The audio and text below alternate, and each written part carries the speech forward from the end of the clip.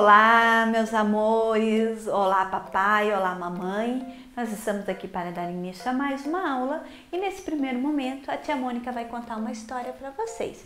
A história do patinho feio.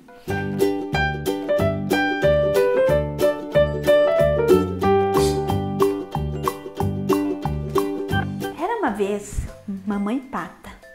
Ela tinha chocado cinco ovinhos. Cinco ovinhos e certo dia pela manhã, os ovinhos começaram a estralar. Trec, trec. E nasceu um patinho. E o segundo também estralou. Nasceu o segundo patinho. E o terceiro patinho também nasceu. E em seguida nasceu o quarto patinho.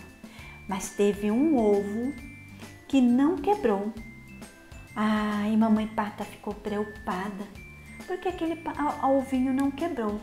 Quando de repente o ovinho quebrou e nasceu um patinho diferente dos outros patinhos. E todos começaram a rir dele porque ele era muito feio. Ele era diferente dos outros patinhos. Os animais onde mamãe pata passeava com seus cinco patinhos Todos riam dela, porque aquele patinho era muito feio. E aquele patinho ficou muito triste.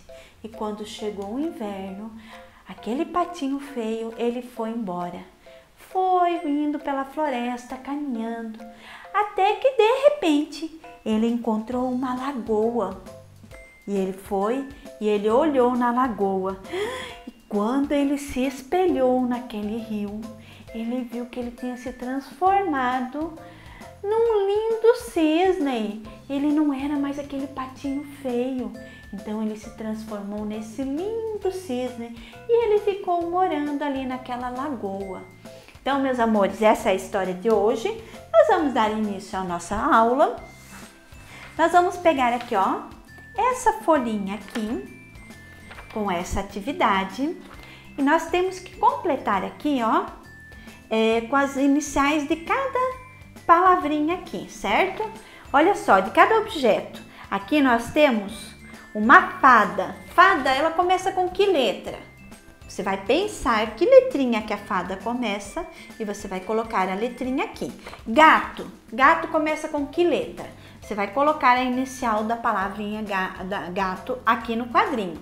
E assim você vai fazer com todas as, as letrinhas, certo? Com todos os objetos. Aí nós vamos utilizar o livro didático número 2, na página 139. Olha aqui, nós temos aqui um, uma forma geométrica. Qual que é essa forma geométrica que nós temos aqui? É um triângulo. Esse triângulo aqui, ele já está pintado a metade, certo?